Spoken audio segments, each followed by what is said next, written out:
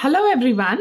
You are in the session Streamline End to End AI Pipelines, Pre Process, Visualize, and Build AI Faster at Scale on Intel Architecture.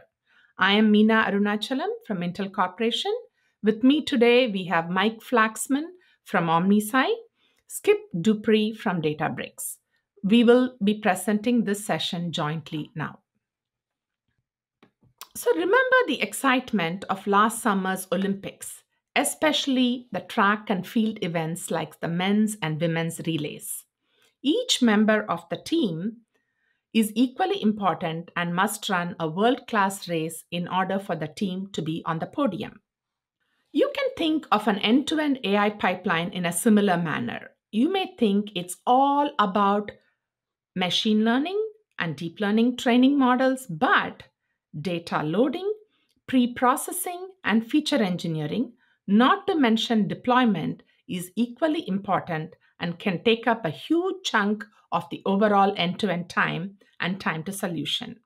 And just like our relay team, optimizing each leg of the relay, or in this case, each phase of the pipeline, is equally important if we are to have a successful outcome. So, here's what we are going to discuss today. First, a brief overview of Intel AI software. We optimize many packages across the entire pipeline to enable data and AI at scale and tools that make things easy. Second, we want to take a moment to highlight partnerships where we together drive data at scale.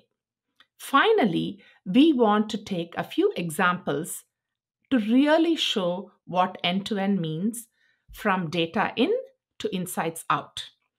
AI is often just a small part, and the entire end to end runs really well on Xeon. If you take the latest and greatest software that can fully utilize Xeon, fully utilize Xeon's parallel compute, large memory hierarchies, and low latencies. Intel architecture software optimizations span end to end AI pipeline and build upon the rich, fast growing AI ecosystem, with some of the software packages having been downloaded hundreds of millions of times. Optimizations cover deep learning, machine learning, and big data analytics such as TensorFlow and PyTorch for deep learning, scikit-learn XGBoost for ML analytics, end to end data science tools like the Intel AI Toolkit and BigDL, formerly known as Analytic Zoo, that ha- help accelerate every phase. All of this is built on the foundation of one API, which is Open Standards Unified Programming Model with constituent libraries that optimize for performance and productivity across different target hardware. Our rich partnership with hundreds of industry leading partner companies as well as end user customers pushes the envelope of innovation across entire end-to-end AI software ecosystem. Today, we have two of our key partners, OmniSci and Databricks with me here. First part of any end-to-end is to be able to understand data we have partnered with OmniSci to drive interactivity at scale, analyzing billions of rows in just milliseconds, driven by a sophisticated JIT engine, fully utilizing massive parallelism on the CPU and modern memory hierarchies. Let me introduce Dr. Mike Flaxman, product manager at OmniSci, to get into it a bit more detail. Thanks, Meena. OmniSci was designed to solve a particular challenge with modern analytics. A lot of tools today allow interactivity or they allow scale, but they force you to choose one or the other. With very small data sets, it's not usually an issue. Legacy analytic solutions can deal with thousands of rows interactively without a problem. But if you push that to millions of rows or billions of rows, all of a sudden your options get significantly more limited. Our customers are interested in maintaining detail on really large data sets. So, for example, we deal with utilities that don't want to know just where the forest is. and all the healthy trees in the forest. They want to know where any sick tree is that might hit their power line. Similarly, telcos want to look not for all of the calls that they successfully complete, but out of billions of calls, where are the anomalies? So our platform was built to address those issues uh, for scalable large analytics, and we built it from the ground up with vertical integration. So we start with modern hardware, including some Intel hardware we'll talk about today, that is massively parallel, and we exploit that parallelism throughout this stack. In the middle, we've built uh, from the ground up a database that has a high performance SQL engine and a rendering engine combined. So the data is in one place and can perform queries or rendering from that same uh, data. And then at the top level, we've built a no-code interactive visual exploration tool that we call OmniSci. So that lets you have the access from a normal web browser to very large data sets interactively rendered.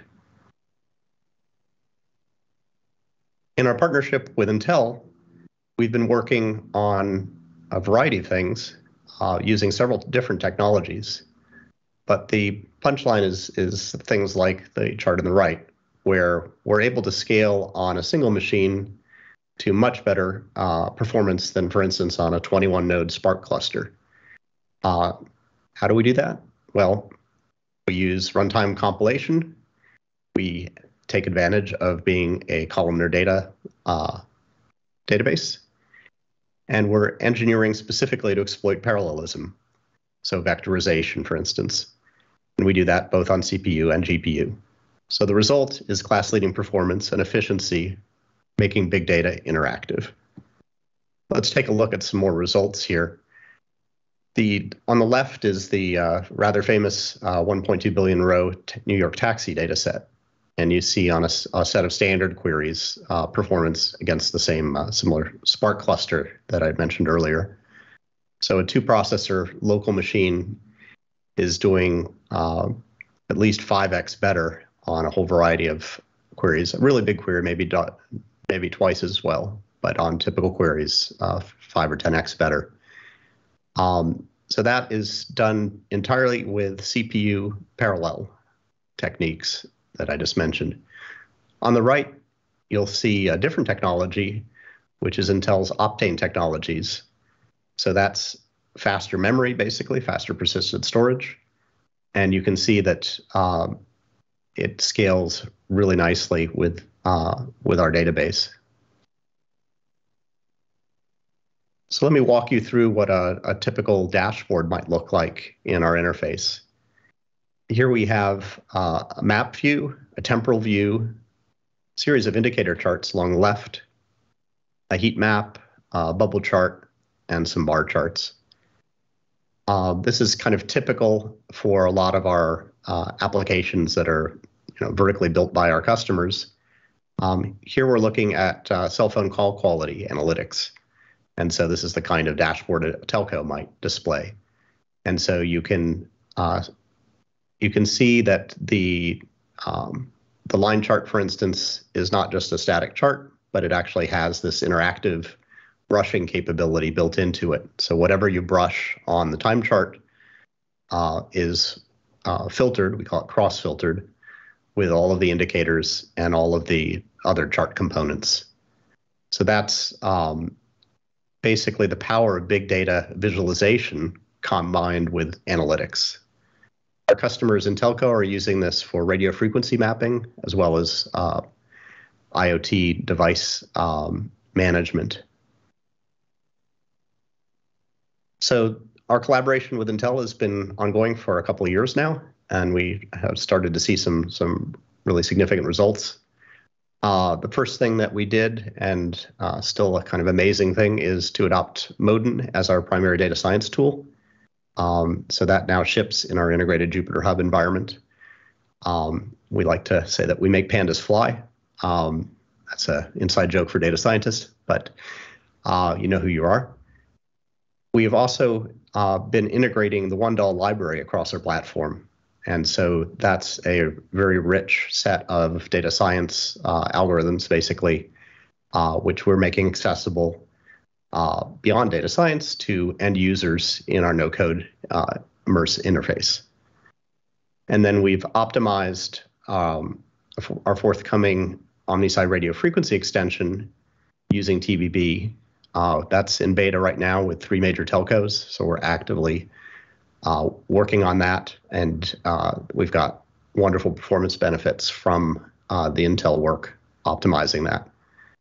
And then uh, first in queue to uh, to be accessible to everybody is that OmniSci DB is currently being optimized for the Intel Optane um, persistent memory, and uh, that work is expected in our next release.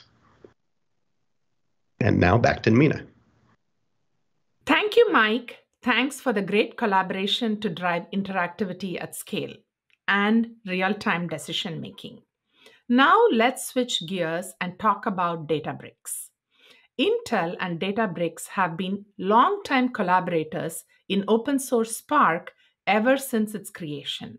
We have innovated on features together, such as adaptive query execution, which really improves stability, robustness, and performance at large data scales. We also work hand in hand to ensure that Databricks' unified data and AI platform keeps improving performance and cost by taking advantage of the latest and greatest hardware and optimizations so that you can scale as effectively as your data scales exponentially. Let me now welcome Skip Dupree, Databricks Accounts Director, to go into a bit more detail. Thank you, Meena. Uh, I appreciate the opportunity to speak to everyone today. Uh, just going to give you a quick overview of who we are here at Databricks. Um, we're the data and AI company. We provide the first lakehouse, uh, which offers a simple single platform to unify all of your data, your analytics, and your AI workloads. We work with well over 5,000 customers today. And really, we're an organization that's dedicated to the open source community. And this can be uh, expressed through some of the most successful open source projects uh, that are in the data space today. Um, so taking a step back, I want to first, you know, data lakes and data warehouses have very complementary but different benefits that have required both to exist in, in most of the enterprises that we talk with. Um, data lakes do a great job of supporting machine learning. They have open formats and big ecosystems, but they have poor support for business intelligence and they suffer from complex data problems. Uh, data warehouses, on the other hand, are great for BI applications, but they have limited support for machine learning workloads. And they're proprietary systems with uh, only a SQL interface. And so it's in unifying these two that we could be transformational in how we think about data. And this is why uh, Databricks has invested so much into our Lakehouse strategy. And this is what provides a single platform to unify all of your data, your analytics, and your AI workloads and it's a key enabler um, behind this innovation. A key enabler behind this innovation is what we call Delta Lake. Delta Lake provides you with the ability to build curated data lakes that add the reliability and performance and governance that you've come to expect from data warehouses directly to your existing data lake. You gain reliability with ACID transactions. So now you can be sure that all of your operations in the data lake either fully succeed or fail. And you now have the ability to easily time travel backward and understand every change that's been made to your data. Delta Lake is underpinned uh, by Apache Spark, um, and it utilizes advanced caching techniques um, and indexing methods. And this allows you to process and query your data on your data lake extremely quickly and at scale. And then finally, Delta Lake provides support for access control lists that give you much more control over who can access your data, what access they have to your data, that sits on your data lake. And it's with this foundation that I've just explained. Let's take a look at the lake house that's built on top of it. So the Databricks Lakehouse platform uh, is unique in three ways. First, it's simple.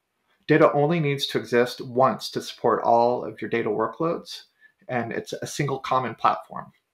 Um, second, it's open. It's based on open source. It has open standards, and it makes it easy to work with existing tools and avoid proprietary formats. Um, it's and then third, it's collaborative. Um, so your data engineers, your analysts, your data scientists um, are able now to work together in a much more easily fashion. Um, and this is what Databricks, uh, this is why we're the data and AI company today. Um, no one else can do this on a single platform uh, in a single solution. And that's a quick overview. With that, I want to pass it back to Meena and uh, let her talk a little bit uh, more about Databricks and Intel. Thank you, Skip. Um, now let's talk a little bit about this unified data and AI platform, how it can harness new hardware to be even faster and cheaper.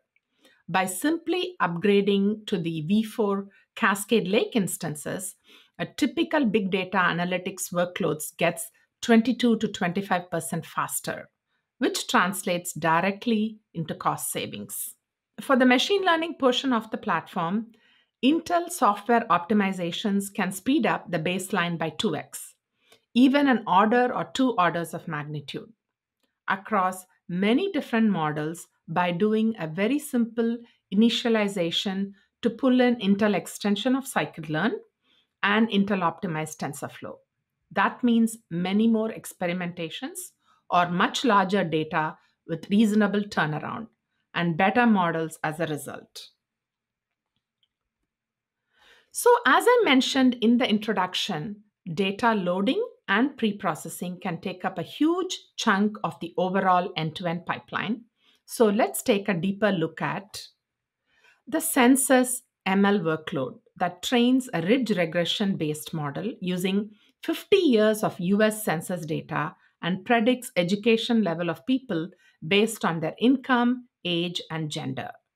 Data ingestion into a data frame, followed by ETL ops like drop and fill in and others. And then it splits the data set 10 is to 1 to create a training set to build the model and a test to use for making predictions. TTS or train test split is repeated multiple times to randomize the split and remove any bias in avoiding overfitting. Model is trained and inference is performed. The DL pipeline is on a document level sentiment analysis workload based on the BERT large NLP topology. Here, the SSD review document dataset is loaded Sentences are tokenized, feature extraction is done, load pre trained fine tuning model, and conduct multi stream inference and classify documents based on sentiment. There are also a lot of deep learning training only pipelines with long training times, but in this talk, we will focus on one DL inference pipeline and one ML pipeline. So, when you look at the AI portion of the pipeline in isolation, you may get a much different picture of what solution is better. For example, in the census data set, a third gen Intel Xeon scalable processor significantly outperforms an NVA100 by a substantial margin. But is it really 5x faster? In end to end? Similar story, but different outcome for the document level sentiment analysis, as the NVA100 performs a third gen, outperforms a third gen uh, Intel Xeon scalable processor by 2x. So, same question is it really 2x faster end to end? So, actually, the end to end story is exactly the opposite for each case. For census, NVA100 is slightly faster. AMD plus NVIDIA together do the pre-processing, data ingestion, creating data frame, and ETL steps have a lot of host to device, device to host transfers due to the limited GPU memory. Of course, AI is offloaded to NVIDIA. However, for the Xeon CPU case, all end-to-end phases, including AI run on the CPU, taking advantage of the cores, the large memory capacity in place, which helps Xeon a lot. Similar story for DLSA, but third generation Intel's Xeon scalable processor edges out NVA100 due to several optimization to the end-to-end workload. Also, taking advantage of the high number of cores and therefore higher number of instances than A100.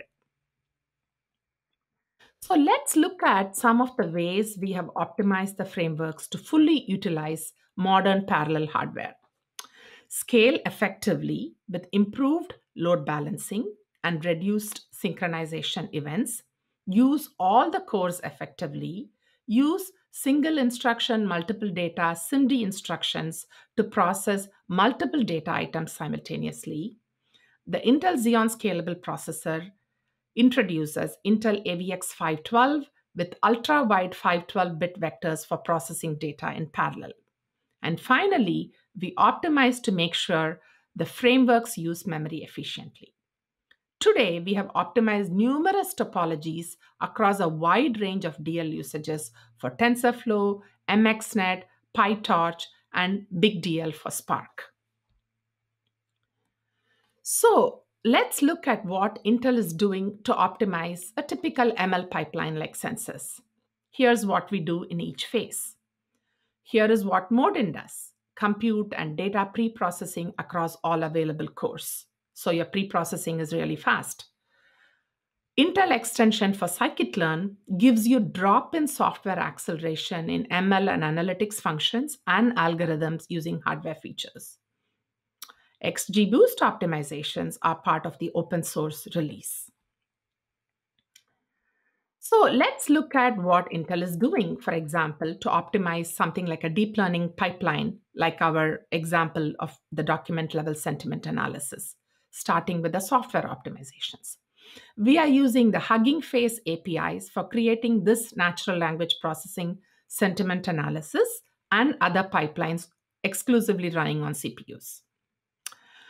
The Intel One API math kernel library helps in multiple phases with AVX 512 instructions.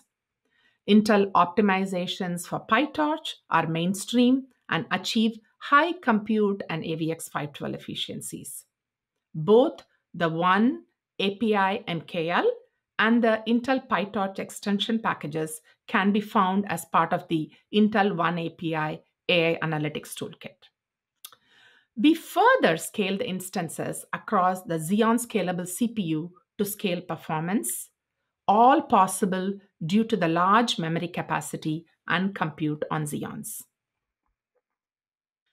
So let's look at what we can do with respect to optimizing performance by varying instances. Here is a four core Ice Lake die.